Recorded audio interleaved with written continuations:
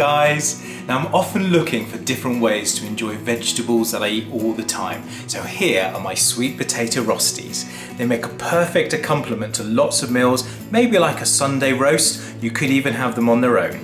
Here, I'm enjoying them as a light meal with some salmon and sour cream.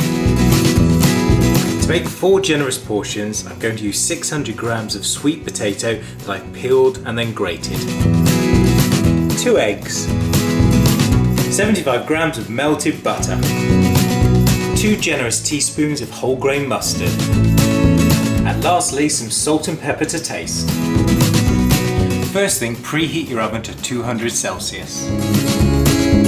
Just like that. Next, I'm going to squeeze as much water out of the grated sweet potato as I possibly can.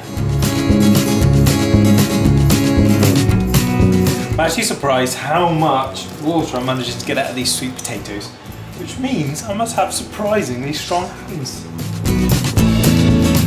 There we go, that's the last of it done. Next, you want to prepare yourself a muffin tray. Now this recipe should make about 12, and luckily I've got 12 here. So we're going to brush each muffin hole, if that's a word, with some of the melted butter. Okay, that's the last of my muffin holes all buttered up. Now obviously I haven't used all 75 grams, the rest of this is going in with the sweet potato. Okay, so that can go in, as I said, with the sweet potato, along with the eggs and the mustard.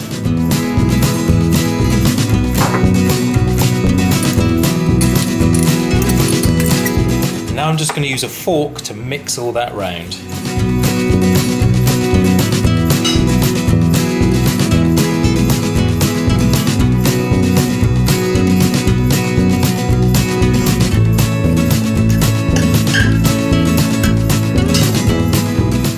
That nicely mixed together, it's ready to go into the pan.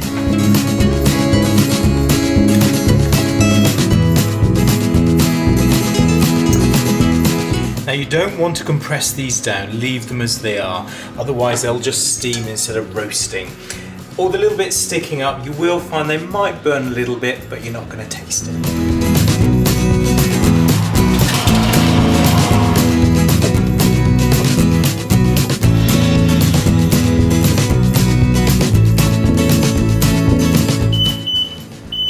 After 20 minutes in the oven, they'll be good to come out.